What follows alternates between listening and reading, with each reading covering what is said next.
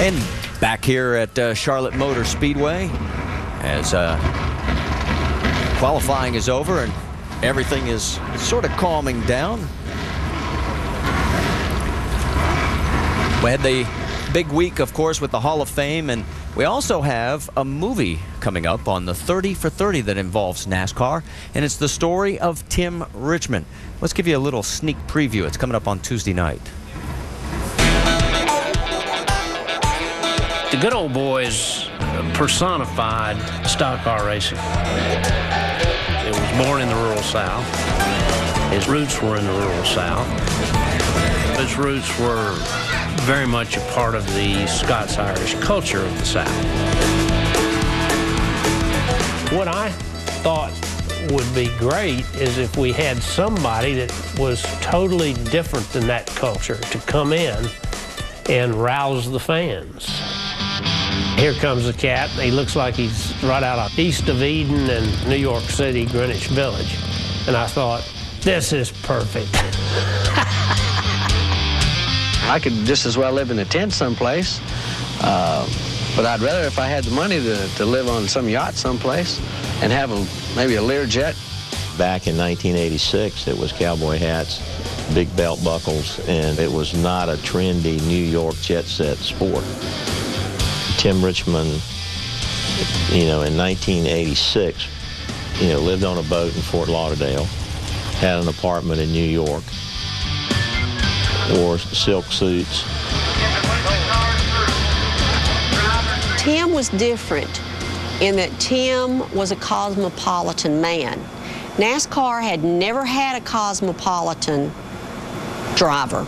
Tim Richmond epitomized the cosmopolitan man of the 80s.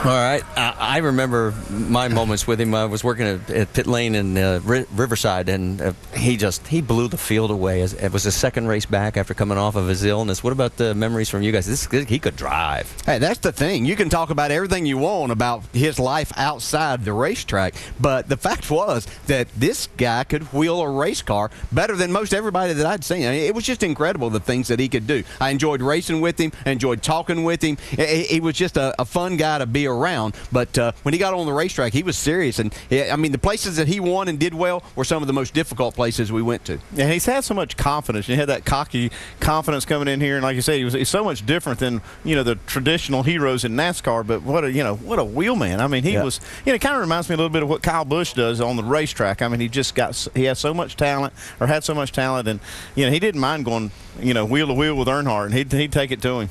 Well, and one of the guys that uh, is involved in the actual production is our own Dr. Jerry Punch. Doc, uh, some of your thoughts?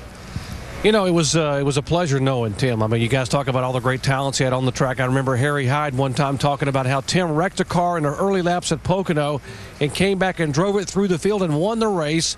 He never had any idea that the frame on that car was bent. And the frame was bent so badly, he said probably no one else could have driven the car. Not only did he win the race, he beat Dale Earnhardt Sr. to get that win on a very tough track at Pocono. The first time I met Tim Richmond, uh, Rick Hendrick had asked me uh, to talk with him about possibly getting a physical and allowing him to come race in NASCAR. So Tim called me one night. I was working in the ER late one night. He called me from a party. He was with Belushi and Aykroyd out in Malibu Beach, California, about midnight Eastern time, which is 3 o'clock, um, I mean, the earlier West Coast time. And he said, I want a physical. I said, if you're serious, get on a red eye and come to the East Coast, and I'll talk with you tomorrow. And guess what? He did. That's how much he wanted to be a part of NASCAR. And the story that you're going to see on Tuesday night chronicles a, a very proud family, a very talented driver, and a tragedy that surrounded uh, how his life ended battling AIDS and, and, illness. So it was very, very tough uh, to do that and talk about someone who had so much talent and so much potential. I know Tim Brewer, you were at the uh, at the the uh, the audition, or I guess the premiere on Tuesday night, and you actually got to see the movie. I have not been able to see the finished product as of yet. What'd you think? Jerry, I think it was a great tribute to Tim Richmond and the family. But Tim Richmond, he was a he was a great guy, and like DJ says, there was no better guy on the racetrack. I mean, you know, he made Dale Earnhardt pull his hair out literally. But you know, fond memories of Tim here at Charlotte. We were a lot of situations like like Jeff Gordon was tonight. We wasn't very good in practice. I remember looking down in turn three one time, and I could read Old Milwaukee on the hood of my race car. And I told Harold Elliott, I said, he wrecked. But he turned it down pit road, come in, we made some changes, went back, tuned it up a little bit. Richmond came out and sat on the pole. But uh, that time we got a little bit of cash for it and turned around. And Tim, he got a brand new T-Bird that had 15,000 miles on it and cigarette burns in the seat.